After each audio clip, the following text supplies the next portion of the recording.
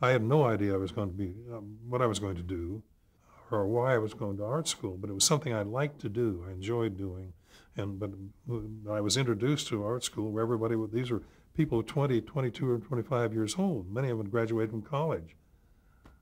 so here I was, you know, and I was about half their height. For one thing, and I looked at these guys and I thought, I, I can't compete with these birds. you know, I, by that time I decided I wanted to be an artist, but I didn't know how I'd ever make any money at it.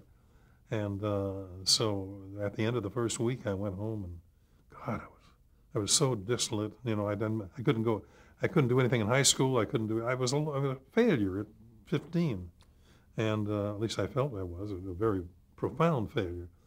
Uh, not really profound enough. I was the kind that slid in the middle of failure.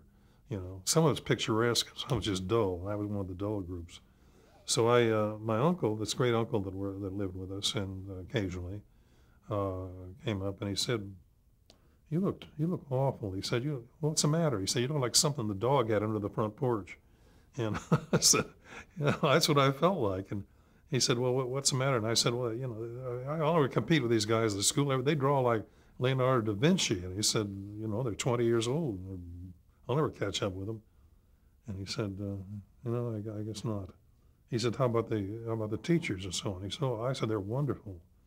Uh, they're wonderful." One one of them, of course, got up in front of the first class in life drawing, and he said, "Every one of you birds has a hundred thousand bad drawings in you.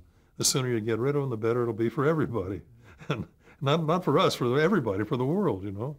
Well, that stuck with me. But anyway, that came a little later. But then I said, and I was just, you know, I, I just felt I, it was the end of the world for me. I could draw a little bit, but I couldn't keep up with the big guys. So I suddenly blurted out and I said, you, you, you, you, you know, got my lower lip out as you do at that age. And says, you, you, you can't make a, a racehorse out of a pig.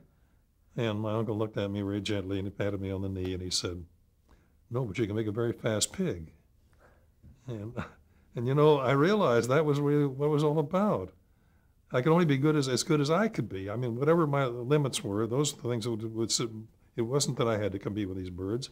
And I learned the second thing that, that creative work is never competitive, no matter how much you may think, think so. In, in the, the world today of animation, in this particular year, there are a bunch of people making features. They're trying to make better features than each other. But that isn't the point.